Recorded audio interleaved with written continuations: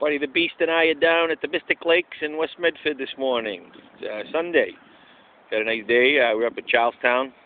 Overlook went to see the Bunker Hill Monument where I uh, used to live by for a couple of years with an old girlfriend. And we uh, went down to Paul Revere Diner in uh, West Medford Square, and now we're at the Mystic Lakes. Just hanging out. Good day. Buddy don't knows where he's at, but certainly better than where he came from. That was a steel pen in uh, the animal shelter in Worcester. Where are you going? Get over here. Buddy has a mind of his own.